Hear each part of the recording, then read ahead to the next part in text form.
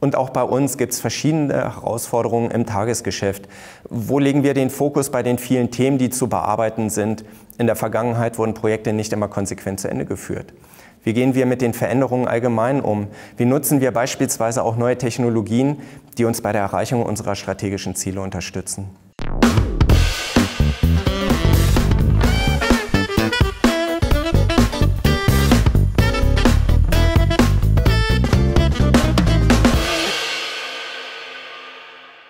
Frau Thahn und Herr Weichert.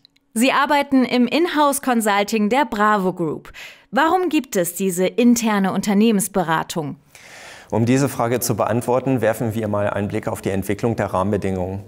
Über die Jahre hat die Komplexität unseres Geschäfts aus mehreren Gründen zugenommen. Veränderte Kundenbedürfnisse, eine Zunahme der Regulatorik durch die Bankenaufsicht oder auch höhere Anforderungen im Zuge der Digitalisierung, um nur mal einige Beispiele zu nennen. Wenn wir den Blick nach innen richten, so ist unsere Unternehmensgruppe, die Bravo Group, in den vergangenen Jahren enorm gewachsen. Und auch bei uns gibt es verschiedene Herausforderungen im Tagesgeschäft. Wo legen wir den Fokus bei den vielen Themen, die zu bearbeiten sind? In der Vergangenheit wurden Projekte nicht immer konsequent zu Ende geführt. Wie gehen wir mit den Veränderungen allgemein um? Wie nutzen wir beispielsweise auch neue Technologien, die uns bei der Erreichung unserer strategischen Ziele unterstützen? In der Konsequenz hat unser Vorstand im Jahr 2018 entschieden, dass wir ein Inhouse Consulting benötigen, um genau den gerade genannten Anforderungen und Herausforderungen zu begegnen. Wofür ist das Inhouse Consulting zuständig? Eine wesentliche Aufgabe ist, dass wir unser Projektportfolio steuern und in diesem Zusammenhang priorisieren. Mit einem aus unserer Strategie abgeleiteten Kriterienkatalog bewerten wir die unterschiedlichen Projekte und setzen damit unseren Fokus. Ein hochpriorisiertes Projekt der letzten Jahre war beispielsweise Bravo Mein Konto. Ähm, zusätzlich beschäftigen wir uns mit Digitalisierung und Automatisierung von Prozessen, um den veränderten Kundenbedürfnissen und internen Anforderungen gerecht zu werden. Somit arbeiten wir immer, wie wir sagen, am System, um dieses stetig zu verbessern. Damit gehen selbstverständlich diverse Veränderungen einher, die in ihrer Dynamik kontinuierlich zunehmen. Daher ist es uns ganz wichtig, auch immer den Menschen in den Mittelpunkt der Veränderung zu stellen. Unterstützend führen wir auch Coachings und Workshops durch, um Lösungen anzubieten, beispielsweise mit Veränderungen besser umgehen zu können. Wie tragen Sie zum Erfolg der Bravo Group bei?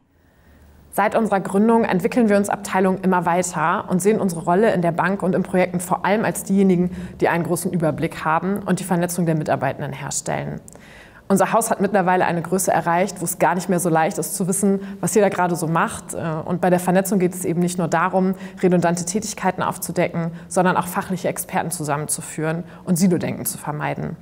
Aus meiner Sicht ist gerade unsere Ausrichtung auf Projektmanagement angereichert mit Coachingwissen unser Beitrag zum Erfolg, denn es geht eben nicht nur um sachliche Inhalte, sondern immer auch darum, die Menschen mitzunehmen. Wo sehen Sie das Inhouse Consulting in drei Jahren? Derzeit haben wir mit unseren Tätigkeiten noch einen starken Fokus auf die Bank. Die bereits genannten Herausforderungen sind überwiegend sehr branchenunabhängig und sind somit auch in den anderen Unternehmen der Bravo Group relevant. Daher werden wir unser Engagement in drei Jahren noch stärker auf die gesamte Gruppe ausgeweitet haben. Wir im Inhouse Consulting beschäftigen uns auch in der Zukunft mit neuen Methoden und Arbeitsformen und testen diese in unserer Abteilung. Außerdem werden wir in drei Jahren beispielsweise auch die Zusammenarbeit in crossfunktionalen Teams weiter ausgebaut haben.